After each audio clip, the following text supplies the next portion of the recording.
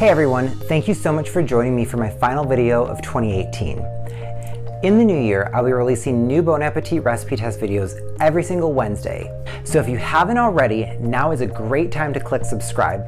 So for my final video of 2018, I'm doing something a little bit different. Today is actually a retest of a video I shot the day before Thanksgiving. Molly made these amazing looking corn muffins, and when I saw them, I knew that I wanted them on my Thanksgiving dinner table. So the Wednesday before Thanksgiving, I was making the muffins at nighttime, being a responsible adult, and they were a complete fail. And at first I was like, this recipe is defective. And then I thought, well, I did go a little bit rogue. So I have three variables that I'm adjusting this go round. First, I thought, you know, I'm gonna convert the uh, measured cups into grams and that way it'll just be a little bit more precise and it'll turn out even better.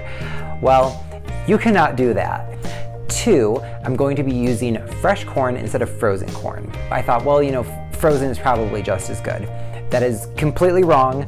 For corn, frozen is not just as good. For some things, yes, but corn, no.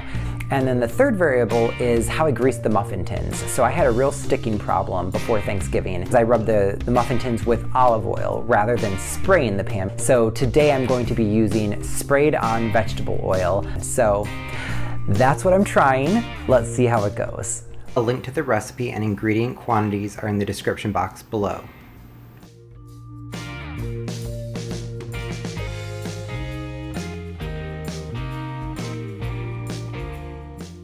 So the technique I'm using was what they demonstrated in the Bon Appetit video.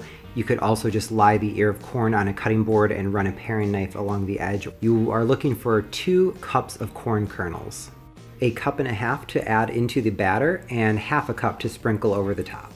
You want to use a bowl much larger than you need for the dry ingredients. I should have used something a little bit larger because you're going to add the wet ingredients and the corn into this bowl and now I'm just coarsely cracking a teaspoon and a half of black pepper. With all the dry ingredients in the bowl, I'm just thoroughly whisking to get everything combined. You really don't want to overwork the muffin batter once the wet ingredients are added, so you want this to be thoroughly mixed. And once thoroughly mixed, you just want to stir through the kernels of corn so that they're coated in flour. This will prevent them from sinking to the bottom of the muffins. Now I'm just going to prepare the wet ingredients. So I'm whisking together the eggs, the sour cream, and the milk. And then once that's pretty homogeneous, I'm just going to stream in the butter, whisking continuously. At this part, it's important that the melted butter has cooled down to about room temperature. You don't want to stir hot butter into the mixture or it could cook the eggs. So now I'm just adding the wet ingredients to the dry and then trying to thoroughly mix in my undersized bowl. So um, this is why you want to use something larger than what I did. So you want to thoroughly mix, but you don't want to overwork it. So if it's a little bit dry, that's okay. Um, you're really just looking for it to be mostly combined.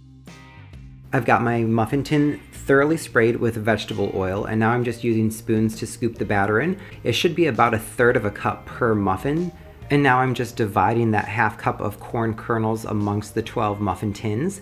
There's no set amount to put on each one, and a half cup was plenty to get a really thorough coating on the top of each muffin. And the final finishing touch is just sprinkling with flaky sea salt. So these will bake for 18 to 20 minutes, rotating halfway through. Mine ended up being in for the full 20, you can check their doneness just by sticking a toothpick or a, a, cake tester into the center of one of the muffins and it should come out clean. I let these cool for five minutes in the pan, but you do want to let them finish cooling on a cooling rack. And this is the finished product. You can eat them plain or top them with honey butter. All right, so I let the muffins cool. I think I'm ready to break into this. So far, I'm feeling very optimistic. The texture of the batter was much better than the previous time I made this. The height that I got on the muffins while they were baking is much better, and they all came out of the tin, so that's a huge plus there. So um, this is what the muffin looks like. So nice golden color on the edges. It got a lot of caramelization. Beautiful corn all over the top. All right, so let's see how it tastes. Mmm. Oh my gosh. The corn is so crispy in there and there's the, the little crunch of the flaky sea salt. This is fantastic. All right, so that was probably the best corn muffin I've ever had. The texture of it was fantastic. It was nice and tender without being overly crumbly. Breaking it open and seeing the whole kernels of corn and the black pepper and then the flaky sea salt on top kind of falling off. It was absolutely the most aesthetically pleasing corn muffin I've probably ever seen um, next to Molly's. It was just delicious. So I am so excited that I have 11 more of these. This time versus the previous time I made these, fresh corn makes all the difference in the world. So if you can't find fresh corn, just skip this recipe because it is not worth it at all using frozen corn. And in terms of risk, this is a really low risk recipe. It's all normal pantry items. The cornmeal and fresh corn might be things that you need to buy specifically for this recipe, but they're not very expensive and they're readily accessible at most grocery stores. So I would absolutely recommend this recipe to you. If you tried this recipe, please let me know how it goes. I would love to see your pictures, so be sure to tag me in your post on Instagram. So I hope you have a happy new year, and I'll see you next week.